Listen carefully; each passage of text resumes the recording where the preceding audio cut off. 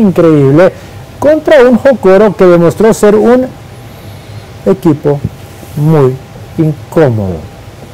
Complicó a la Alianza hasta cierto punto en el partido de ida. Alianza se llevó ese partido de visita 3 a 2. Ahora se preparan para el partido de vuelta en el Cuscatlán, donde seguramente las cosas pueden o no ser muy diferentes. A ver, el tema más interesante entrando a este partido de vuelta es... ¿Podrá complicar el Jocoro? Podrá complicar el Jocoro. ¿Y tu respuesta a eso es? No sé, esa es la pregunta ah, por Dios santo. No, el tema más interesante es que, me, que un Jocoro, vimos un Jocoro que sí complicó a, Alianza en, el, en, su casa. Fíjate que yo hoy, y perdón que te interrumpa, pero creo que es, hoy, hoy me, puse a pensar en eso exactamente, pero no pude resolver yo solo la, la, la incógnita, y lo dejo acá, porque creo que es importante resolverlo. ¿Será que realmente Jocoro elevó su nivel y pudo complicar a la alianza o la alianza bajó su nivel? Te pregunto algo diferente. ¿Quién complicó más a la alianza, el Jocoro o la cancha? Esa es otra cosa, ¿no? El, tema de la cancha. Yo creo que es complicado. Esa cancha es complicada. Mira, lo cierto es que ¿cuánto nunca había ganado, ¿no? Sí, nunca había ganado. Pero eh, eh, esa duda tengo, porque yo no, yo creo que la alianza tiene para dar muchísimo más. Entonces se me vino eso a la mente. Le alcanza con eh, le alcanzó con poco mm. supera a su rival en muchos tramos. Lo que pasa es que como tiene oficio no y, sabe muy bien leer los partidos yo creo que con eso le bastó. Sabes que Alianza todos sabemos que eh, le gustan los campos no porque es un, equipo que te toca muy bien. Necesita un campo que le campo que le permita jugar. y, el de Jocoro que tenés que cambiar ya no tu casa sino que entonces eso te quita el funcionamiento del, equipo, te limita. Yo creo que eso fue lo que... Y en un momento, si no me acuerdo, perdió un, gol así solito que la tiró para afuera. Fue Luis Rodríguez, fue así, el, que, pudo haber sido el empate. y la tira para afuera, era más difícil. Imagínate que Bocoro estuvo así del empate, pues. y perdón, solo para terminar el comentario, yo no vi a un, a un Jocoro que, que incomodara de más a la Alianza. Por eso yo creo que, que, la Alianza ya tiene resuelta la serie. Camila, para ti, ¿qué nivel de comodidad debe sentir Alianza en estos momentos? No, no te puedes confiar. No te puedes sentir cómodo aunque lleves la ventaja. Es la ventaja de un solo gol. Te diría cómodo si tiene ventaja de tres. Mm. De, sí, de tres, te, te diría que ya está cómodo.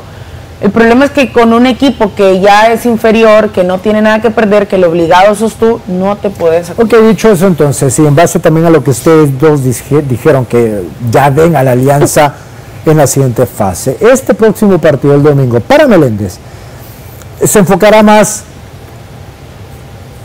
en Jocoro o en el partido del miércoles. No tiene que pensar ahorita en este partido. no, no, no está pensando. Porque ¿Ah? Sí, no está pensando en más allá. Sí. Tiene que sacarle este partido. Claro. Entonces, visualicemos la propuesta que veremos por parte de Meléndez en cancha. No, era comérselo al rival. Pegarle desde temprano. Sí, mira, puede haber una sorpresa lo que Alianza llegue, que, que, ya está todo y se confíe. eso, pues, pero si Alianza llega a, hacer su partido, partido yo creo que recuerden los primeros minutos de la primera mitad del partido de ida, recuerden los primeros minutos de la segunda mitad del partido de ida, pegó Jocoro. Y lo, hablamos, si así sale el domingo, Alianza va, va, va, a estar en problemas. Sí, lo único que el Cuscatlán se iba a pesar y mucho. Okay. Sí, tiene más espacio, estos se le facilita. Jocoro, Platense lo demostró, les cuesta jugar en el Cuscatlán. Entonces, eso está a favor de Alianza. Yo creo que Alianza va a salir desde el primer minuto a matar la serie. Se acabó.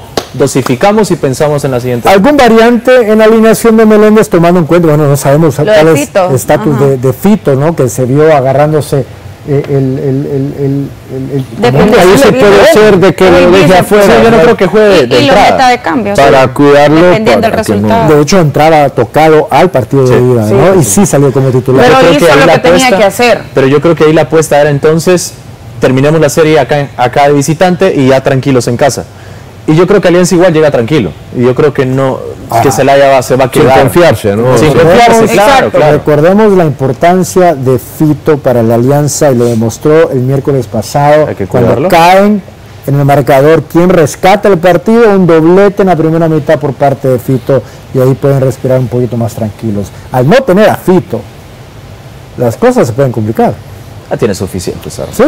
Sí, Para guardarlo No, y, y- y preservarlo porque es tu factor X. Tiene adelante. Sale tiene como, como suplente. Suplente, Sí, yo creo que Sí, sí. sí, sí, para sí, no arriesgarlo. Porque e- ese era tu Sería lo más sabio. Sí, puede ser. Claro. Para Si es que lo necesitas, si no y para cuidarlo para la- el siguiente Claro. partido, ¿no? Ok, ¿qué si, si algo necesita comprobar Alianza en este partido? Que va por el título.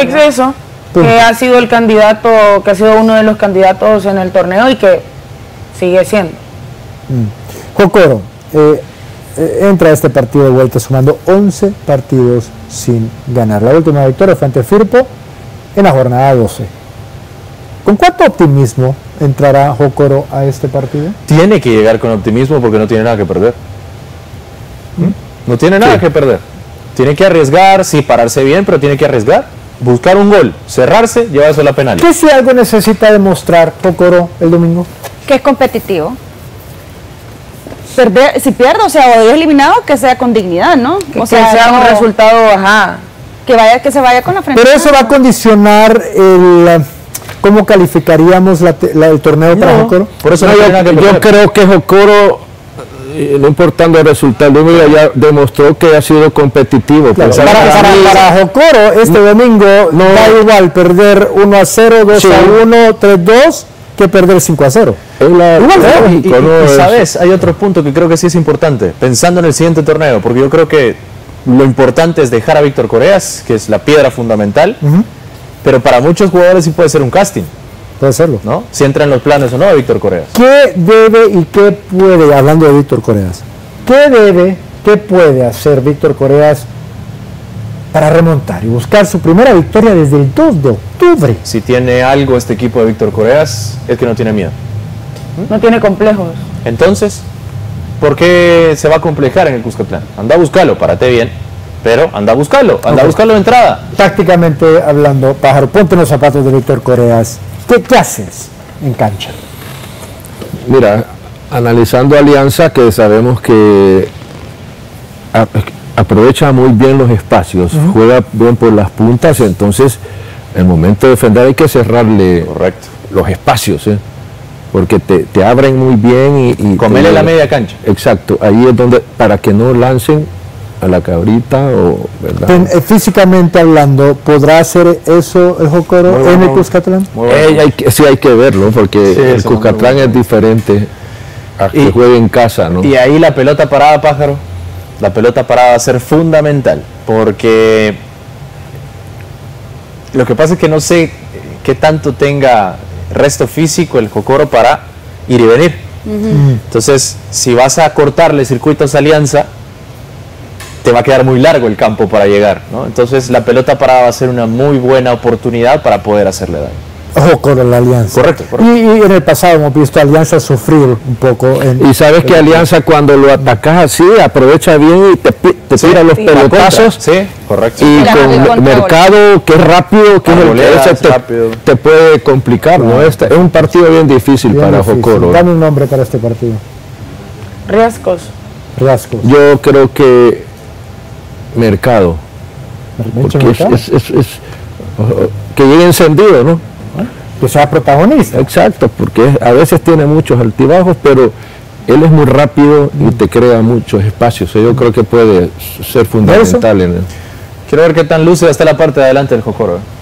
Dos, tres jugadores que tenga adelante, sobre todo si está lúcido también Yuvini Salamanca, le puede hacer daño. Yo quiero ver a esos, esos jugadores, ¿no? John Machado, que esté lúcido, a Santos Guzmán, que esté lúcido. Que no desperdicien lo Que que, no desperdiciaron, que como aquella que puede haber sido el empate. Luis Rodríguez, que perdió Sí, que falló. Que estar lúcidos. Sí. Fiscal.